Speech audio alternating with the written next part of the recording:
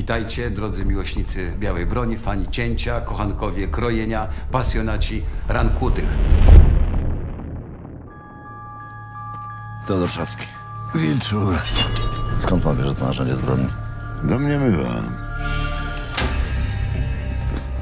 Tylko jedno narzędzie ma taki kształt. Normalnie taka sprawa czekałaby na ciebie, ale nie jest normalnie. Sucho. Praktycznie zero krwi. Tylko perfekcyjnie ostry nóż może jednym cięciem przeciąć przełyk, krtanie, tętnicę. Mord rytualny to antysemicka legenda, nic więcej. W każdej legendzie jest ziarno prawdy. Jesteśmy z panem. Kto? My, zwyczajni, prawdziwi Polacy. Jestem niewinny. Szkoda. Czy potrafisz w tłumie zjaw i upiorów dostrzec twarz zabójcy? Pan jest patriotą? Pan nie? Będziesz musiał w końcu komuś zaufać.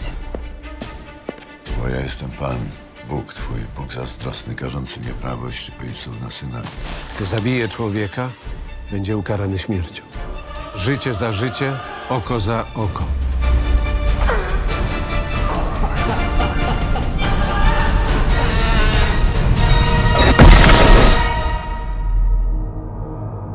Pokaż mi swój nóż, a powiem ci, kim jesteś.